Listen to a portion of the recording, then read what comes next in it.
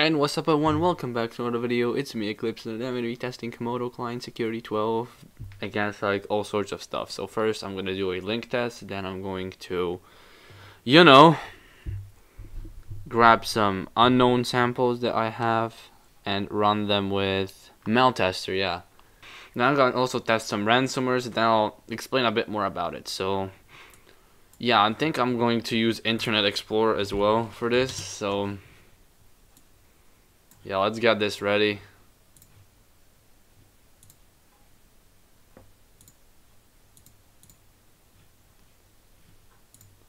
Okay, let's get stuff ready. Um,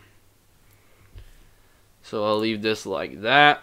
And now let's talk this product. So it has main, main antivirus module. Then we have firewall, which is you, you know your basic intrusion system. Then we have auto containment, basically just restricts the file from running. Then we have HIPS, host intrusion prevention system. This is basically used to uh, warn on any like possible behavioral intrusions or like bad behavior of a file, like writing to protected items or anything like that. So yeah, that's that's that's HIPS. Have Viruscope. This is dynamic and static analysis, which basically analyzes file dynamically. Then it uh, either publishes it or not basically also rolling back changes everything that happens will not be apparent after the file is executed.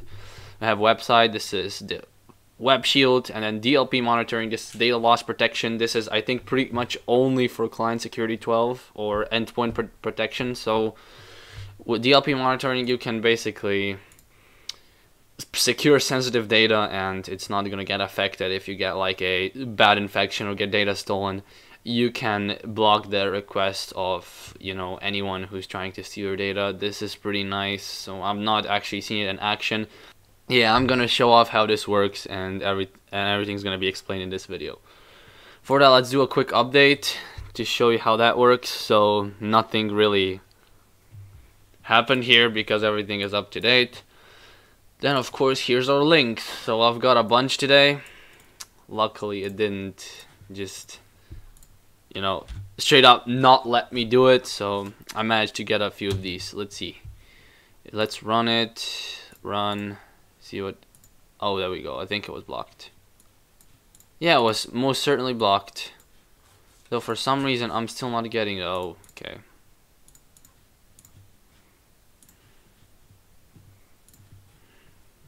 That's what I thought. Let's do this again. I didn't get the notification. For some reason. So it was blocked. But I did not get a notification. Let's keep going.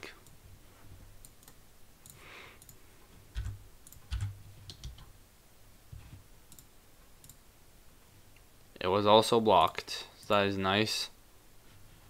That's a block number two.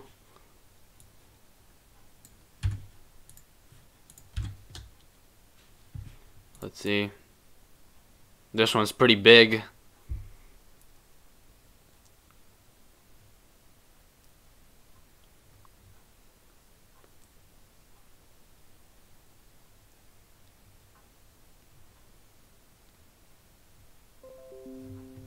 Okay, it was blocked as you can see by the containment. That's pretty cool. then we have some random address run this was blocked by the signatures then we have qqq.exe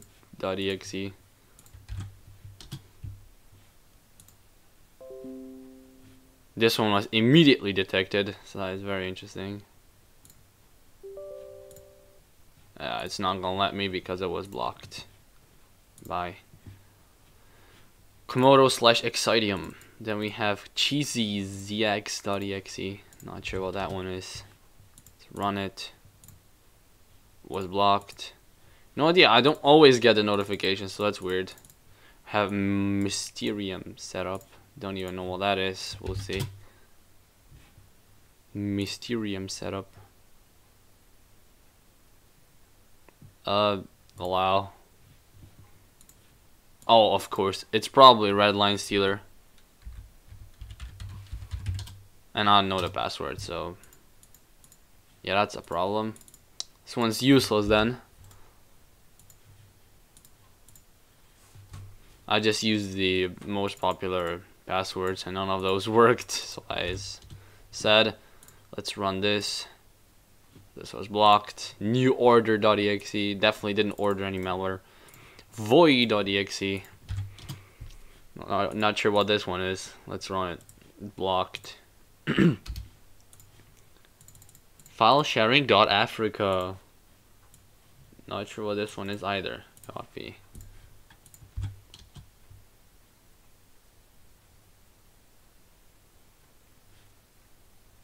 Okay, run. Okay, that was blocked. Brrr, encrypted. .exe. Someone really went burr when they did this, huh?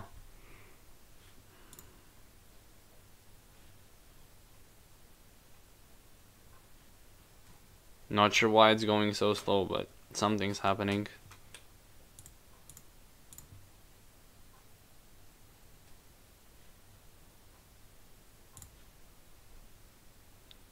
What is this? Let's do this again. Why is it so slow? Is there anything like happening? Oh, it's dead now. Wow, it just died. So the website just died. That's awesome. That's no wonder then. Someone just killed the website as I'm testing it. Let's try this. Chrome.exe blocked. Support client, that might be like some remote access stuff.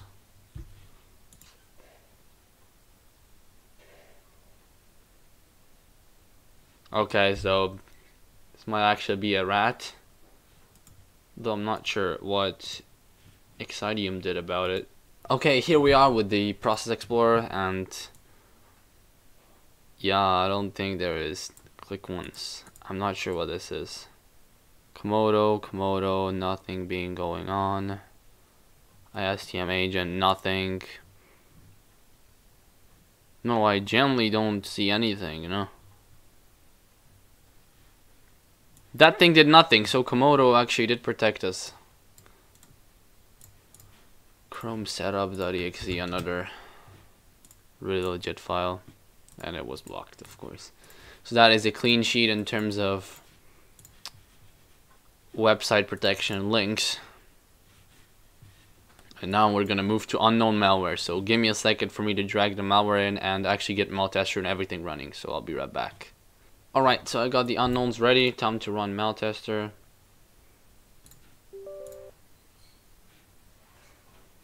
And then let's enable protection. There we go, and let's say yes. And we're gonna start running everything. I'm gonna put this over here. There we go. So yes, let's go.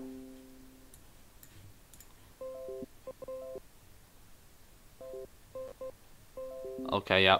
We're going really quickly again. okay, yeah, it's going crazy, I know.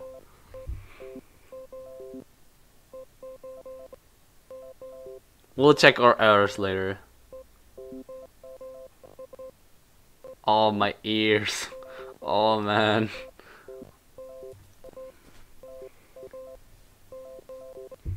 Oh, boy.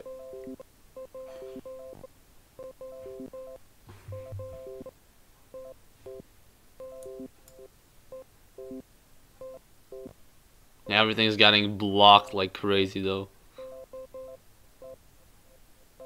And the test is going pretty quickly actually. So that's very nice. Given we have like 400, like almost 500 items. so that's a really good one. Nice, very nice speed.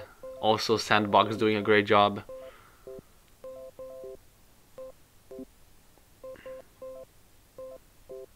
So far nothing was missed, so that's great.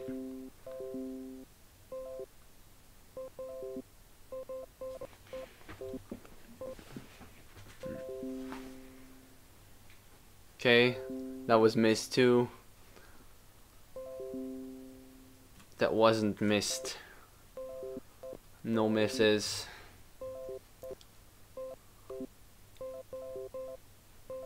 Still no misses. Everything going smooth.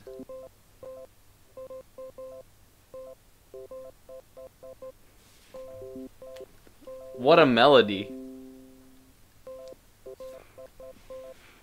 Damn. Okay, so this was probably nothing, so there it is.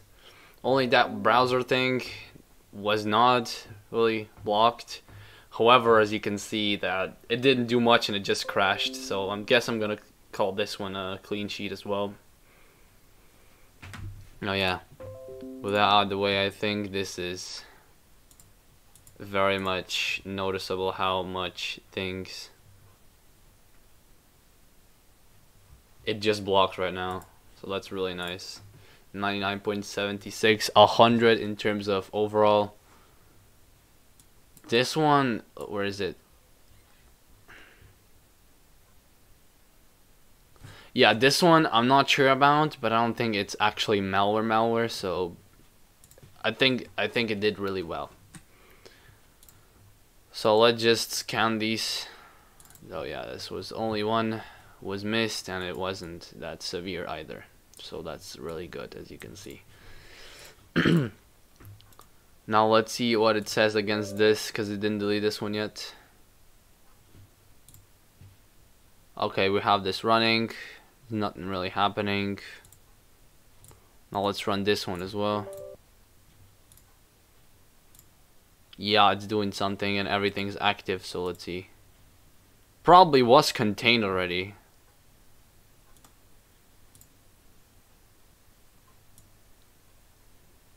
Okay, let's see. Yeah, it's it is definitely malware.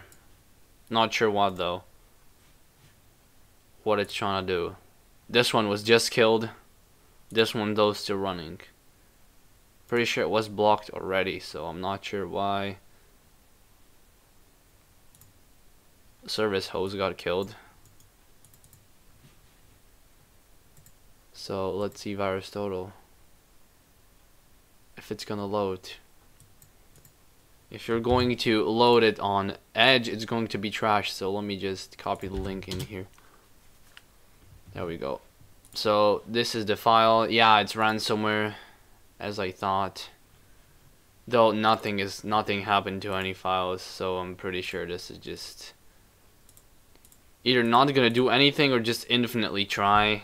Though it's it's doing nothing. So with that out of the way, I think it's fine for me to restart the computer and see how either Xcitium slash Comodo reacts or if the files are encrypted. So let's see what it happens on restart. I'll be back when it restarts. We're back. There seems to have been no modifications to any of these files, so we're completely safe once again. Let me just run this as administrator. My bad, I didn't do that the last time. So here we are.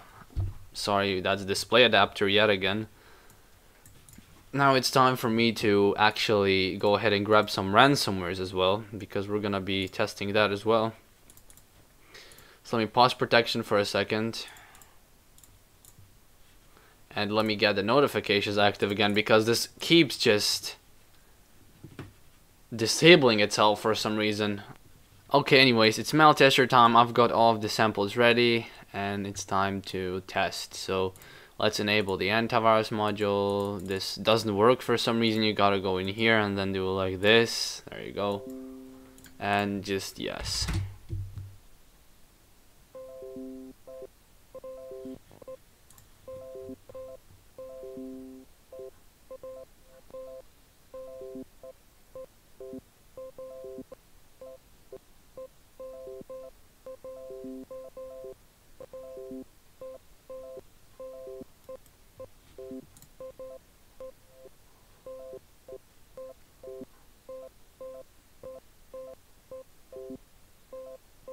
This went very smoothly as well and we have once again a 100% detection ratio. Let's run this one too.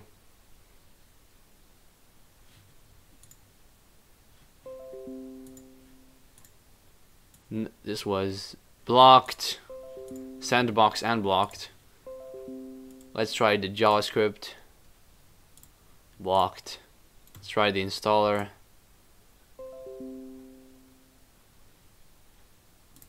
Okay blocked.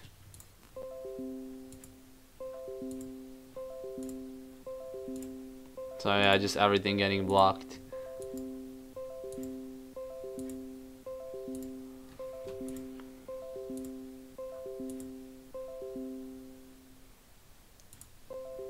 everything was just getting blocked so that's good. Let's try GoldenEye blocked. Let's try the screensaver. Blocked. That's it. That's a clean sheet with ransomware test. What can I say? This is really nice Seems to be nothing wrong. However, let's remove everything here. Let's remove these two things.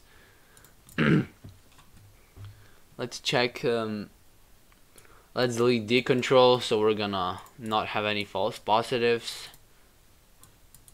Let's move this up here. Let's empty the temp and everything and I'll be back. Okay, now it's time to run Hitman Pro and Zemana.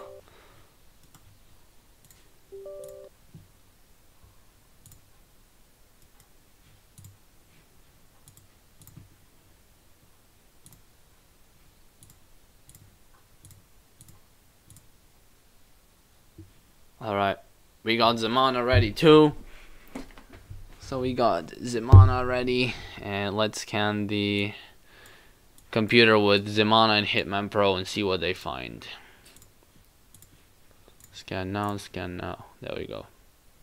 And we'll see what happens.